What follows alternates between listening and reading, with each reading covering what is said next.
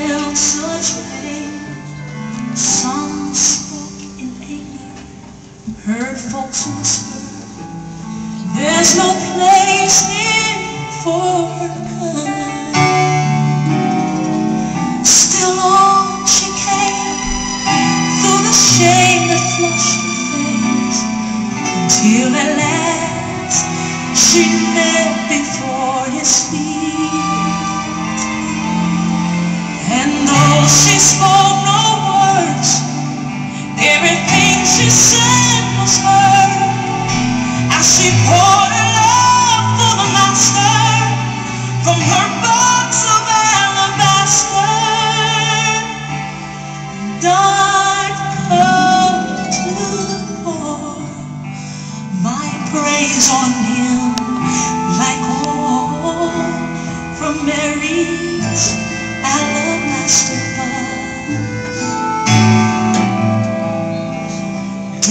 be angry.